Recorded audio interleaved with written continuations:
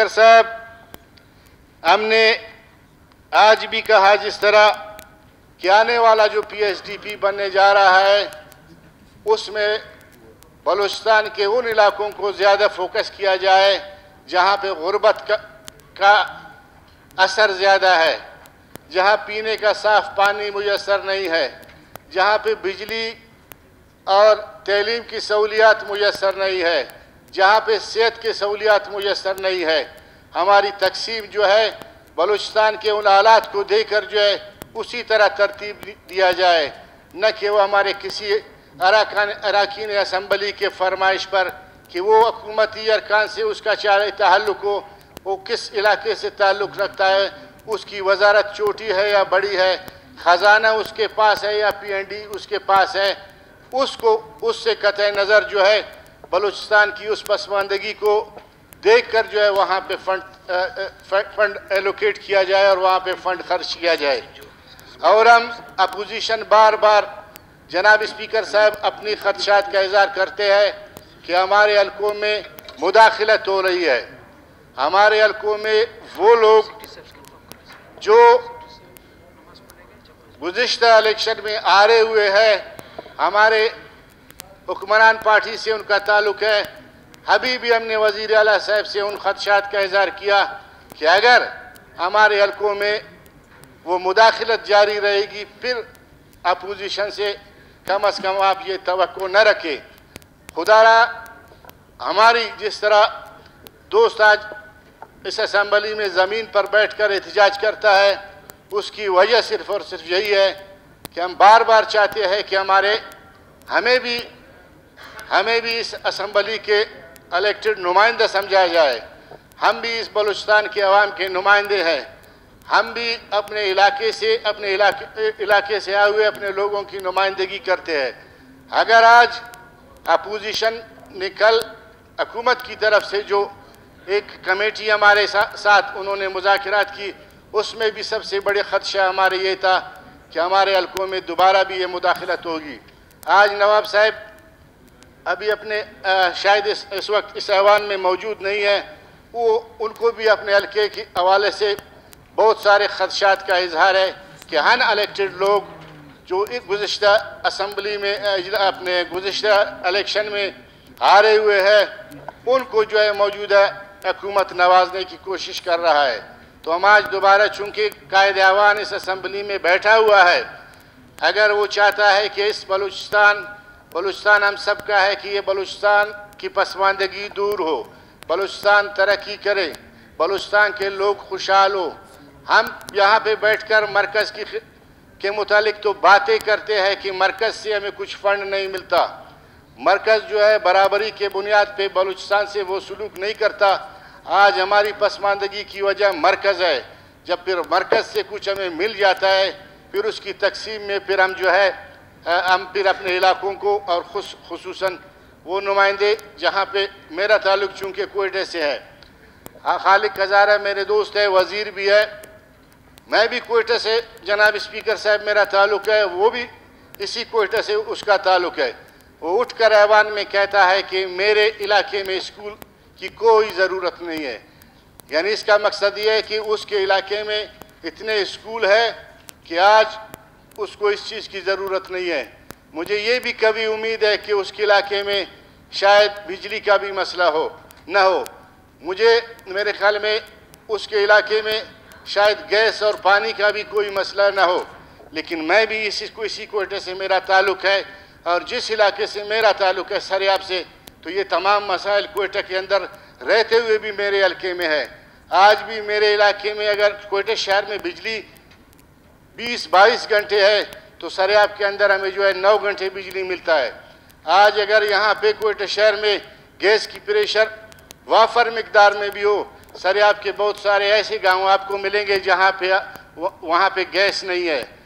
آج میرے ہلکے پی بی بتیس میں میرے خیال میں صرف وہاں پہ دو آئی اسکول ہے۔ ایک گرلز کالج ہے اور ایک بوائز کالج ہے۔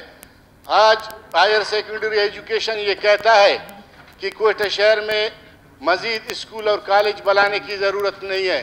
میں کہتا ہوں میرے حلقے میں دس کالج بنانے کی ضرورت ہے۔ میرے حلقے میں دس اسکول بنانے کی ضرورت ہے۔ میرے علقے میں جو ہے بیس ٹو ویل لگانے کی ضرورت ہے۔ میری ضروریات ابھی تک پورے نہیں ہوئے۔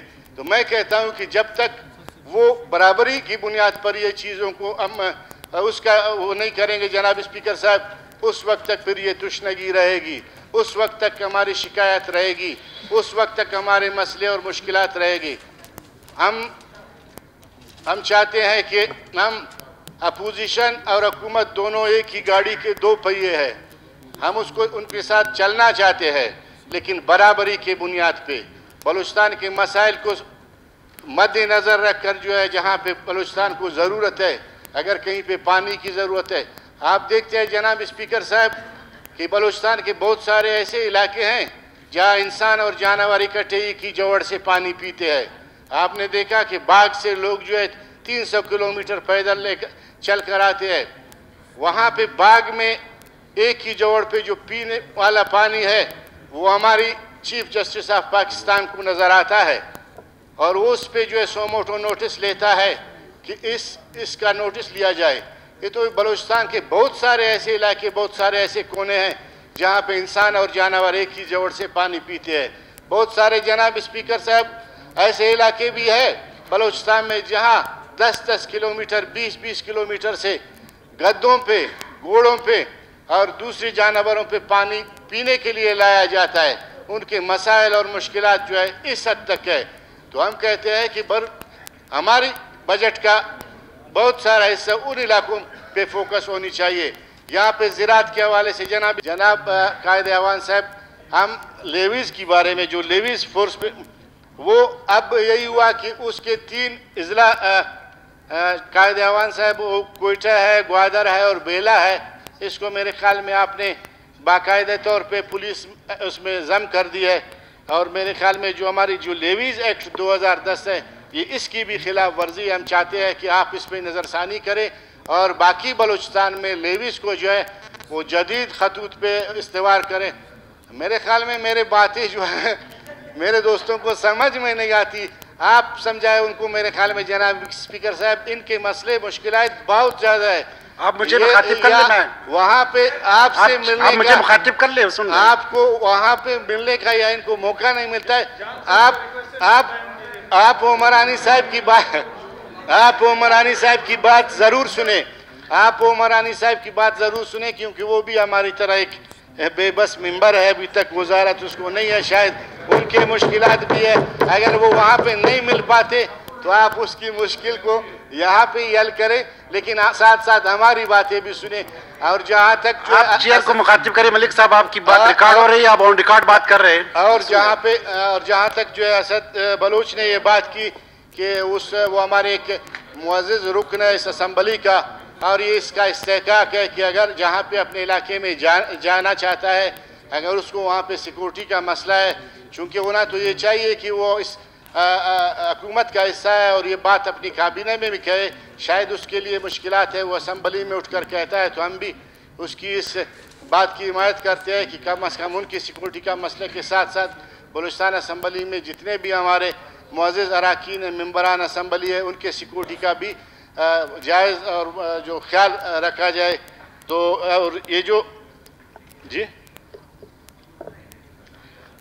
جی امن و امان کے بارے میں میرے خیال میں میرے دوستوں نے، آپ دوستوں نے طویل بات کی اور آخر میں انہی الفاظ کے ساتھ کہ آنے والے بجٹ میں جس طرح ہم نے اپنے خدشات کا اظہار کیا، کہ ہمارے حلقوں میں جس طرح دوستوں نے ہمیں تسلی دی کہ آپ کے حلقوں میں مداخلت نہیں ہوگی، غیر منتخب ارکان کے وہاں پہ اسکیمیں نہیں ہوں گے، ان کے وہاں پہ تجاویز نہیں ہوں گے، انہی الفاظ کے ساتھ کہ وہ اپنے ان باتوں کو وعدہ وفا کریں گے اور انشاءاللہ جو ہے آنے والے بلوچستان کا جو بجٹ ہوگا، اس میں وہ ایک عوامی بجٹ ہوگا، وہ بلوچستان کی پسماندگی اور بلوچستان کے جن علاقوں میں جو مشکلات ہیں، ان کو مد نظر رکھ کر بنایا جائے گا۔